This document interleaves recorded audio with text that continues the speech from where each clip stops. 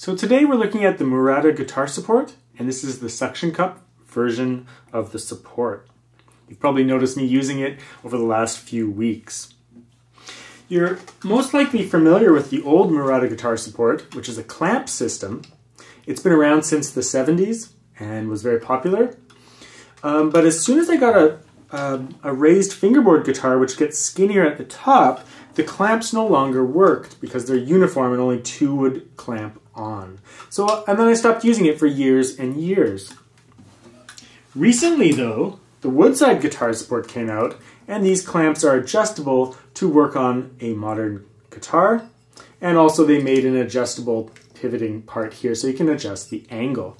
So that inspired me to look at the Murata again and to check out the suction cup version.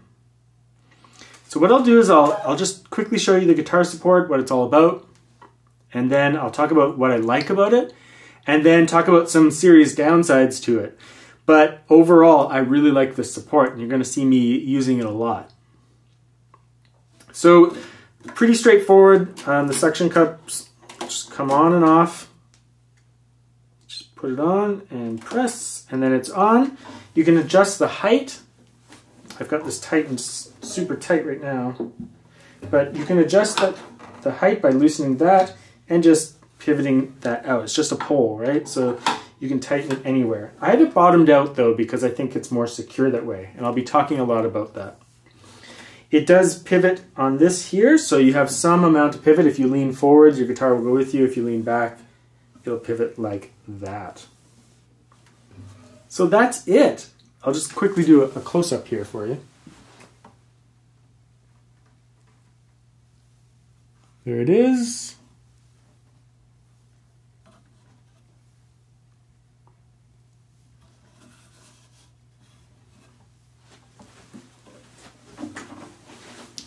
Okay, so what do I like about this support? Well, first thing, I don't always trust suction cups in performance, but the good thing about this guitar support is that the weight of the guitar is pushing on those suction cups at all times, and even more so with your arm, you know, on the guitar. So all of the pressures, pressures just like compacting the suction cups on the instrument which means that they, they don't come off. They don't seem to come off. I don't have anything on my French polish. The suction cups are just right on the French polish, and they don't seem to ever come off. And I think that's just because the guitar is just resting like that. You know, I love my little Gitano support that goes here, but there's so much side pressure on those suction cups that, you know, on occasion it does come off.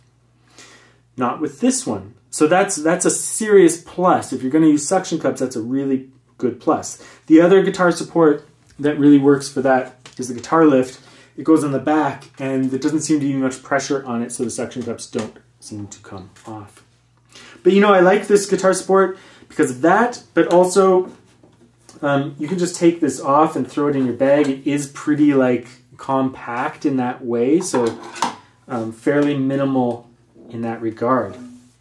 And I like simplicity of design. There's just a pole pop it on, start playing. And I have the pole bottomed out, so there's no chance of anything happening there. It's just, that it won't ever fall down or anything like that.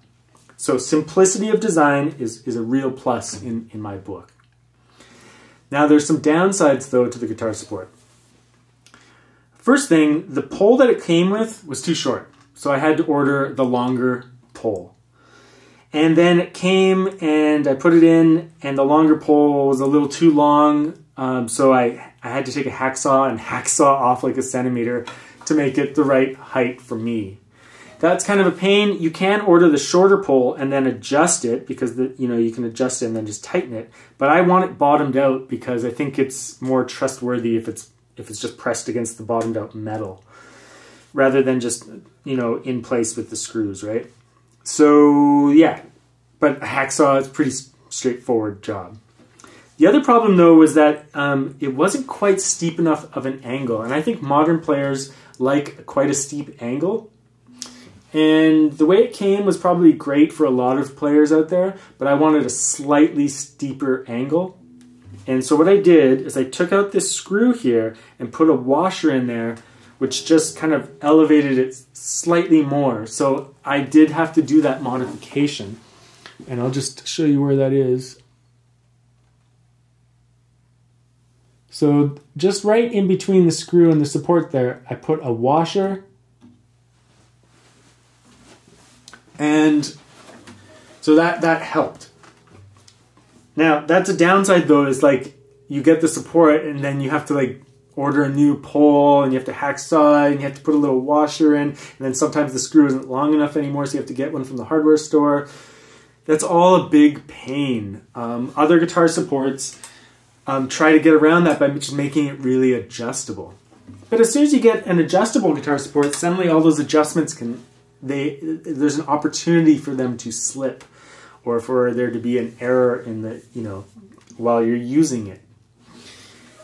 This one, now that I've done that work, I really like it. It's like set up for me, and I just I, I I'm really enjoying the support. It's not coming off. It's it's really straightforward. It's simple, and I've got the angle and height that I want from the guitar support. At least at home here on this chair.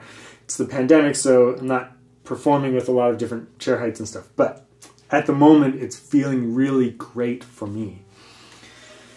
Um, other people will be reluctant to probably get it because you know they, they don't necessarily want to modify it. But you know, it guitar is such a specific thing. Like sometimes you have to modify it. That's what I've come down to. It's just come down to that. It's like I've reviewed so many guitar supports and I love them all, but I also have the little issues with them. So either you modify it to suit your liking or you move on to a different support.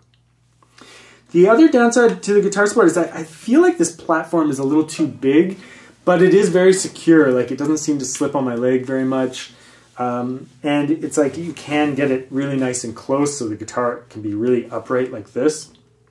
So, I mean, on the one side, I think it, it feels really good and I, I like the way the support feels. I wish it was more, you know, the guitar support just has like a piece of foam on the bottom and then if you need to pivot, you just pivot all you want.